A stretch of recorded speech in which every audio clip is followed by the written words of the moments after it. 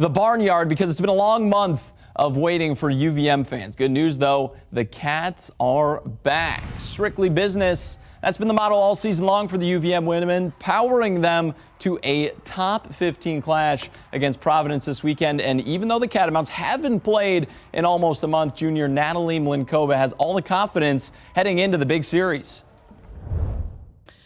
Uh, I feel like we kind of picked it up where we left it out. Honestly, like it's it was two weeks maybe that we actually had off, and you know, like it's just the same thing. Like the system is the same. Like nothing has really changed, and uh, we are all pretty skilled players, I would say, and you know, we just play together.